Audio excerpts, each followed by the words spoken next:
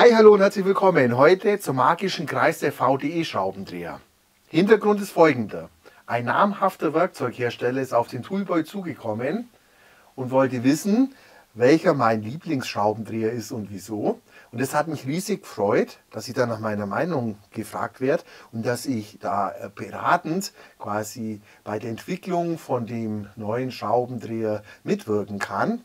Und noch viel mehr freut mich, dass ich einen YouTube-Kanal habe, auf dem viele werkzeugbegeisterte Leute zuschauen, die mir immer viele Inputs geben und konstruktive Kritik.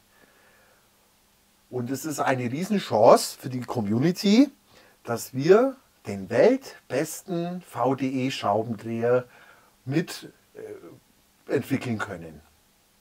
Deswegen mache ich heute ein VDE Schraubendreher Spezial. Ich möchte auch eine kleine Umfrage im Community-Bereich danach ähm, machen, wo jeder reinschreiben kann, was für ihn selber der beste VDE-Schraubendreher ist. Also ist der groß, muss der klein sein, muss der schmal sein, muss der dick sein, muss der lang sein, muss der kurz sein, muss der harte Klinge haben, muss der weiche Klinge haben, muss der so einen eingegossenen ähm, Isolation haben, muss der bestimmte Beschriftung haben, muss der aus Kunststoff sein, muss der aus Gummi sein? Und so weiter.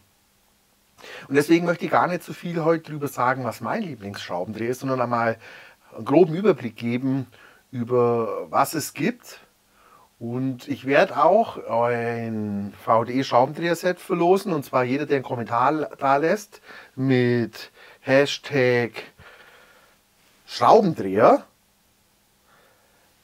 Der ist dann mit dabei. Das werde ich bis Ende, bis äh, Anfang Dezember dann auslosen. Das ist noch eine Verlosung offen und zwar die vom Toolcheck Plus. Das habe ich nicht vergessen. Es kommt auch nächste Woche noch mal eine.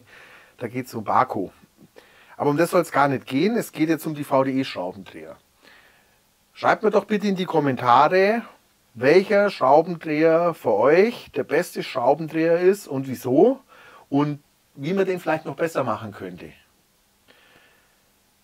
Ich werde dafür nicht bezahlt, das sage ich auch gleich. Ich finde es nur toll, ja, dass die mich gefragt haben und dass wir jetzt quasi die Chance haben, ein, an einem Produkt mitzuwirken, wo danach in großen Mengen produziert wird, wo vielleicht dem einen oder anderen Installateur das Leben leichter macht, weil er schon immer darauf gewartet hat, dass es bestimmte Funktion gibt. Also, weil es gibt verschiedene Formen. Ja? Es gibt, es ist so, haben wir ein bisschen eingelesen, ein Zwischending zwischen Ergonomie und Dynamik, zwischen Dynamik und Kraft. Und je nachdem, wie die Schraubendreher ausgelegt sind, kann ich halt damit den ganzen Tag arbeiten, ohne dass, ich, dass meine Hand weh. Oder ich kann besonders schnell arbeiten oder ich kann besonders stark die Sachen anziehen. Ich habe gelesen, dass es gibt einen MIT-Professor, der hat beim Kletterunfall leider beide Beine äh, verloren und hat sich dann mit Prothesen beschäftigt und der hat festgestellt, dass eine Prothese, die am menschlichen Körper angebracht wird, an der Stelle, wo der menschliche Körper weich ist, hart sein muss und an der Stelle, wo der menschliche Körper hart ist, weich sein muss. Und ich habe herausgefunden, wieso manche sind ja schon ähnlich von der Form, diese besondere Form haben. Und zwar, wenn man Knetmasse in die Hand nimmt und da mal ein bisschen schraubt, dann bildet sich eine ganz ähnliche Form aus wie die Schraubendreher, die hier auf der Matte liegen. Die japanischen Schraubendreher, diese Ballgrip-Schraubendreher, die haben auch tolle Form. Die liegen hinten in der Hand gut. Und die haben auch immer zwei Komponenten, einen harten Kunststoff und einen weichen Kunststoff, so ein Rubber. Und das andere ist Plastik, ja. Vielleicht ist das ein besonderes Merkmal. Viele Schraubendreher haben auch hinten einen äh, Aufdruck, wo dann drauf steht, was das ist. Manche haben sogar einen Farbcode. Ja.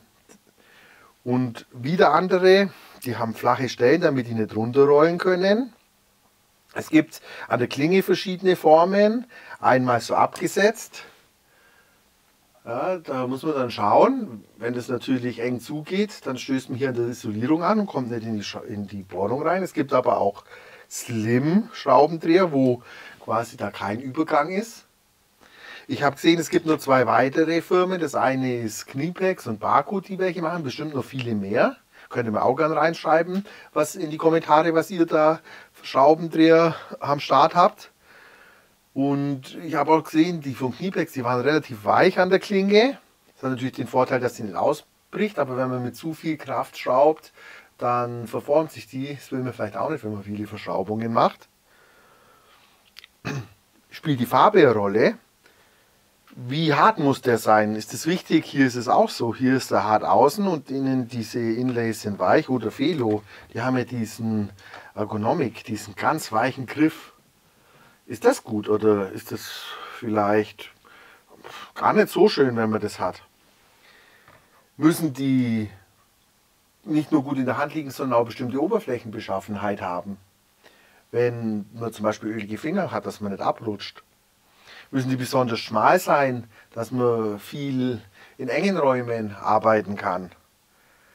Ja, also Fragen über Fragen, müssen die rund sein oder macht es auch so wie die von Holex ein eckiger Griff? Der ist auch wieder weich und hier hart.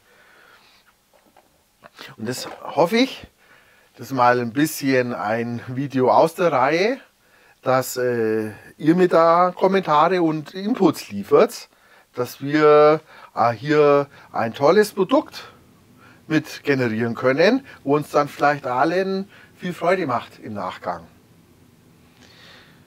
Was liegt hier auf der Matte? Die Felo-Schraubendreher, die Vera-Schraubendreher, die Fesselschraubendreher, die Facom-Schraubendreher, die, die Viha-Schraubendreher und die BP Swiss Tool Schraubendreher. Die hier, die sind jetzt relativ flach, ohne so einen Bauch. Die gibt es auch als VDE-Version mit so einem runden Griff. Und da muss ich sagen, also lasst euch davon das Bild nicht beeinflussen, die gefallen mir schon ziemlich stark. Also mit dem runden Griff, weil die liegen einfach gut in der Hand. Die sind aus einem Kunststoff. Die haben hinten auch ihren Code, sogar einen Farbcode. Da gibt es jetzt auch einen Griff, wo man Einsätze macht, neu und innovativ. Ja müssen die vielleicht auch die Klinge bis hinten im Griff haben, dass man da hinten draufhauen kann? Brauchen die so eine Fläche, wo, dass sie nicht runterrollen? Oder ist der Boygrip gut, wenn man den ganzen Tag damit arbeitet? Kann ein guter Schraubendreher einen elektrisch betriebenen Schraubendreher ersetzen und umgekehrt? Fragen über Fragen. Das Thema werde ich ein bisschen breit reden. Ich hoffe, ihr powert rein. Ich freue mich auf eure Hashtags und wir sehen uns vielleicht auf jeden Fall am Mittwoch auch wieder, weil da mache ich einen zweiten Teil von den elektrischen Schraubendreher. Und vielleicht dann auch nächsten Sonntag wieder. Danke fürs Einschalten und eure Kommentare. Bis bald.